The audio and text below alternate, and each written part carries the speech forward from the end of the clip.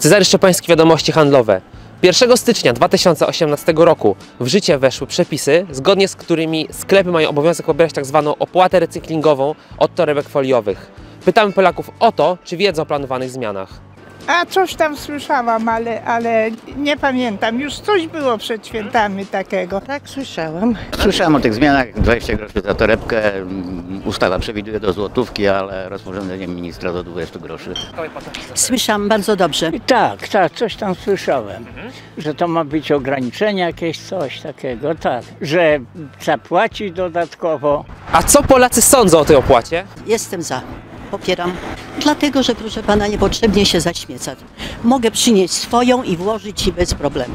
Wie pan, ja staram się nie korzystać, mam jeszcze z czasów PRL-u swoją ekologię, którą zawsze noszę, o, takie coś i to wygodna, bo kartofelki czy coś cięższego. popieram jak gdyby w jakimś sensie tą y, decyzję, ale nie do końca. Ja nie wiem, to jest chyba bez sensu. Dać torebkę? Pytają mnie panie, nie, dziękuję, mam własną ekologię. Oj, to ładne. Na pewno powinno być w jakiś sposób to ograniczone, ale to wydaje mi się, że bardziej powinno pójść y, w informacje dla, y, dla tych wszystkich kupujących. Jeść trzeba, tylko w co pakować. To chyba powinni w sklepach za, zaoferować y, klientom, żeby w coś pakować. Kiedyś pakowali w gazety i było dobrze.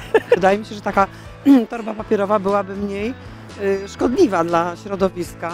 powinny być papierowe, tak jak w Ameryce i wszędzie, a nie foliowe. To w zasadzie powinno, mówię, wyjść raczej od y, sprzedających, że pakujemy jakieś tam opakowania ekologiczne.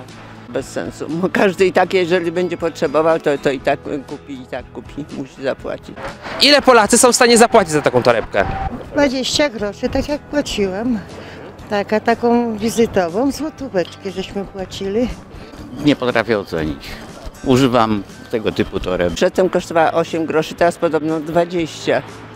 No więc to jest prawie, prawie trzykrotnie więcej. Uważam, że obojętne czy 5 czy 10 powinno być, żeby ludzie mniej korzystali z tego. Oj, bo ja wiem, nie mam pojęcia. Jeżeli nie będę miała własnej, i, a, a, a będę musiała zabrać zakupy, no to ni- niestety siła wyższa.